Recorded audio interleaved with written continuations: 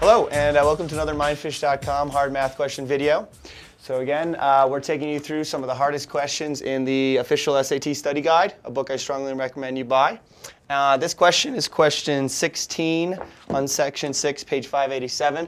So it is a, uh, a free response answer or a student-generated answer, so there aren't any multiple choice answer choices here. We have to come up with our own answer.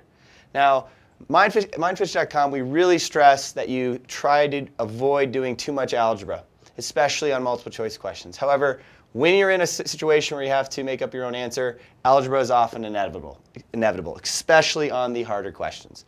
So this is an f of x question, which is really just another way of saying y, but it gives people lots of problems. So I'm going to walk you through it, and hopefully at the end you'd be able to do something very similar. So it says if h of x equals 14 plus x squared over 4, and it says if h of 2m equals 9m, what is one possible value of m? So the first thing I have to do is understand what does h of 2m mean?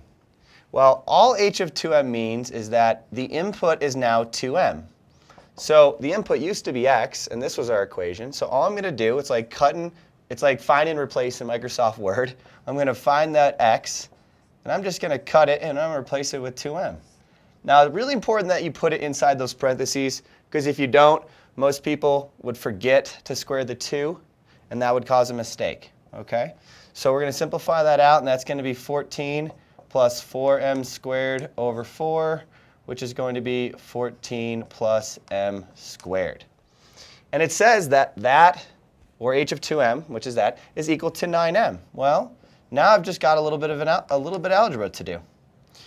So whenever I see an m squared, a constant, and an m, I realize this is a quadratic. I want to get it into that ax squared plus bx plus c form.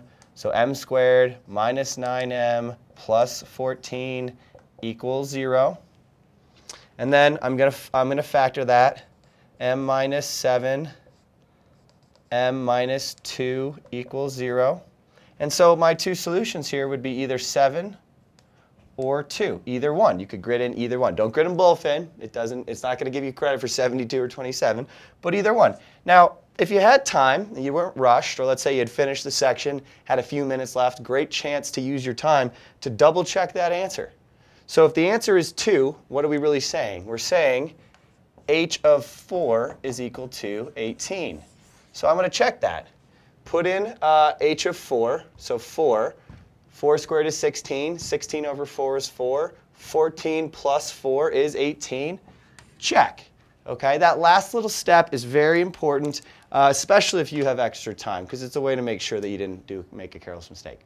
So hopefully you'll have uh, less difficulty in the future with a f of x challenge problem near the end of a section, and hope to see you again on some of our hard math question videos and or at uh, mindfish.com. Thanks. Mindfish.com will help you ace the SAT. Practice for the test with SAT Quest, our online SAT quiz game with over 1,500 practice questions.